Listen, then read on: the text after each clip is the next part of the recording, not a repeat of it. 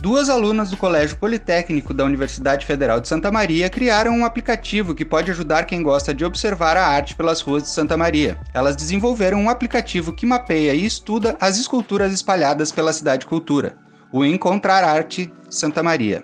Partindo de uma integração com o curso técnico e tecnólogo do colégio de geoprocessamento, como não podemos também continuar as saídas de campo para continuar mapeando as esculturas do resto da cidade, nós desenvolvemos esse aplicativo por meio de um web app, que é um online, que tu pode clicar nele a partir de um link.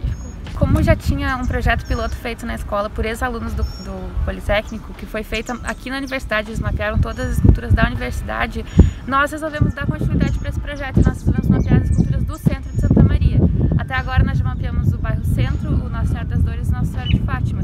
E ainda tem muito mais para E as esculturas são escolhidas justamente por estarem ao nosso redor todos os dias, terem esse fácil acesso e serem um patrimônio tão importante, histórico, cultural.